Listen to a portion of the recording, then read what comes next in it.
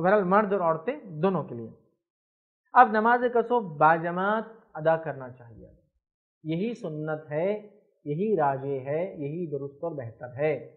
ٹھیک ہے؟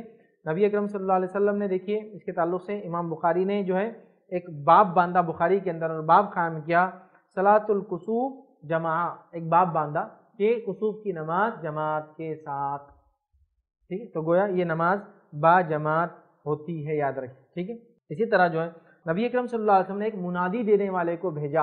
مطلب جو آپ نماز کے لیے آپ نے ایک آدمی کو بھیجا اور وہ آدمی کہہ رہا تھا، الصلاۃ الجامعہ کہ نماز کے لیے جمع ہو جاؤ۔ تو گویا اذان نہیں دی جائیں گی اس کے لیے۔ یہ نماز میں کوئی اقامت بھی نہیں ہے۔ لیکن اس نماز کے لیے آواز دی جا سکتی، نماز کے لیے جمع ہو۔ نماز کے لیے مسجد میں آ جاؤ۔ یہ کہنے میں کوئی حرض نہیں، جدید دور میں واٹس ایپ وغیرہ کے ذریعے آپ بول سکتے نماز کو آ جاؤ۔ مطلب بلانا مقصود ہے۔ اس میں کوئی اذان نہیں ہے، اس میں کوئی اقامت نہیں ہے۔ تو اللہ کے رسول نے ایک شخص کو بھیجا، یا اللہ کے رسول نے خود کہا، نماز کے لیے جمع ہو جاؤ یعنی نماز کے لیے جمع ہو جاؤ۔